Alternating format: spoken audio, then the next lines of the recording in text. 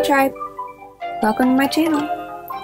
My name is Erin, and I am a hypnotherapist, RTT practitioner, business major, and I'm 38 years old and I have lots of life experience. So, I have learned lots of things and done a lot of things.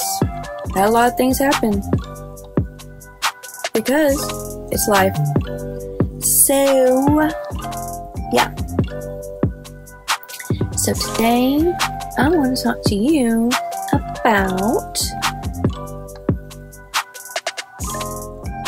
who is the most difficult to hypnotize. Let me tell you, there's only like really one person that's most difficult to hypnotize, and that is the person that you cannot communicate with.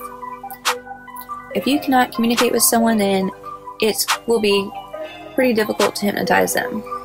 That is the only person that is not hypnotizable.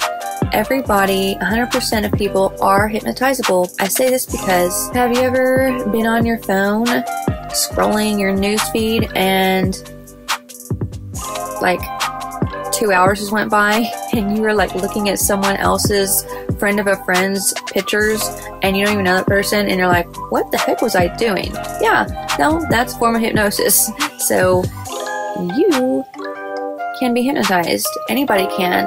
It's just a matter of what kind of person each person is because that determines the approach you use for each specific person. What makes hypnosis difficult, though, for some people is people with analytical minds. People with analytical minds that are trying to figure things out the whole time. They are, you know, sitting there thinking about the process and everything. Those people, they have a, more of a difficult time getting into that trance state someone that has a difficult time visualizing pictures in their mind, they're going to have a little bit more of a difficult time going into hypnosis because they're going to have a harder time seeing the images because in hypnosis we use very descriptive vivid wording and it's like a very visual inner inward visual experience people that have fear of losing control mindset the ones that have difficulty visualizing things inside their head. A good way to help fix that is to get into the habit of telling your mind what you want it to do.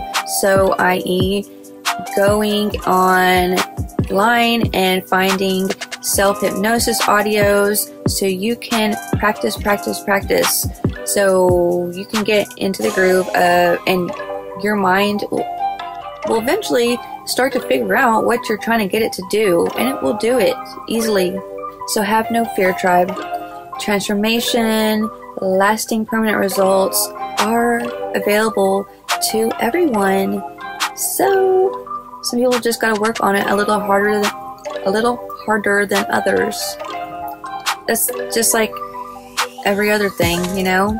Some people take to some things more easily, some don't you know? Like riding a bike. It's no biggie. But I tell you right now, hypnosis gets more powerful the more you do it. So, anyways, that's all I have for today. Love and light to you all.